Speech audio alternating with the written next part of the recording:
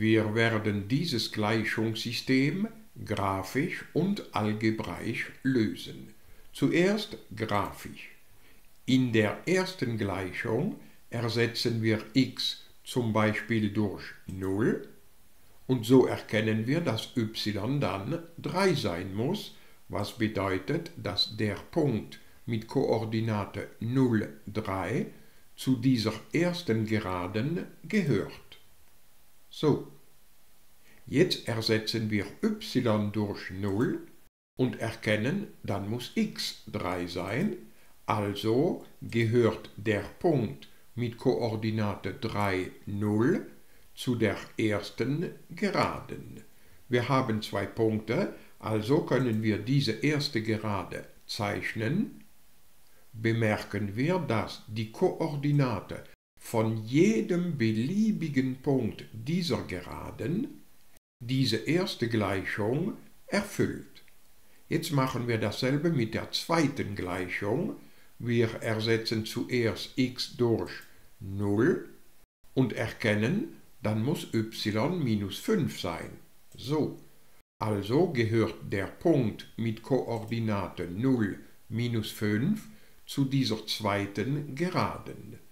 Wenn wir y durch 0 ersetzen, so sehen wir, dass x 5 sein muss, also gehört der Punkt mit Koordinate 5, 0 zu dieser zweiten Geraden. Wir haben zwei Punkte, also können wir diese Gerade zeichnen. Wir bemerken wieder, die Koordinate von jedem Punkt dieser roten Geraden erfüllt diese zweite Gleichung. Der Schnittpunkt liegt auf beiden Geraden, also muss seine Koordinate beide Gleichungen erfüllen, was bedeutet, dass die Lösung von diesem Gleichungssystem das Zahlenpaar 4 minus 1 sein muss. Jetzt algebraisch. Wir werden die zwei Gleichungen vom Gleichungssystem einfach addieren und somit wird y verschwinden. So erhalten wir x plus x, also 2 mal x, gleich 3 plus 5, also 8. Und demzufolge muss x 4 sein.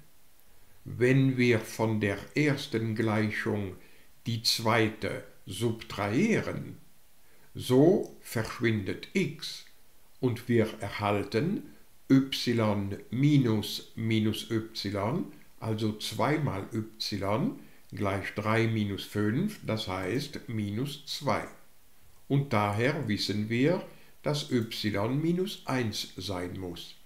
Algebraisch finden wir also als Lösung das Zahlenpaar 4 minus 1. Natürlich stimmt diese Lösung mit dieser überein.